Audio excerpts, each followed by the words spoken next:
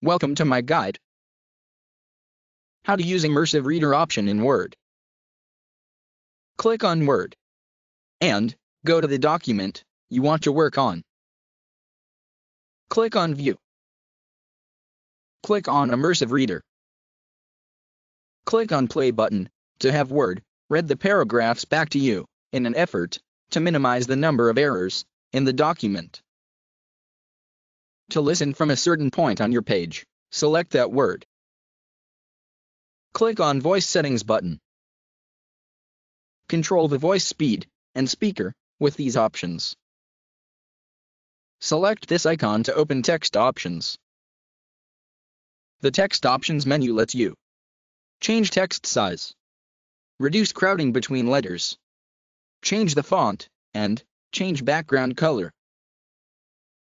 Click on Grammar options. Parts of speech control grammar highlighting and help readers to understand complex sentences. Click on Reading Preferences. Line Focus enable readers to narrow the focus of their reading experience by highlighting sets of 1, 3, or 5 lines within their chosen material in Immersive Reader. Thank you from my guide.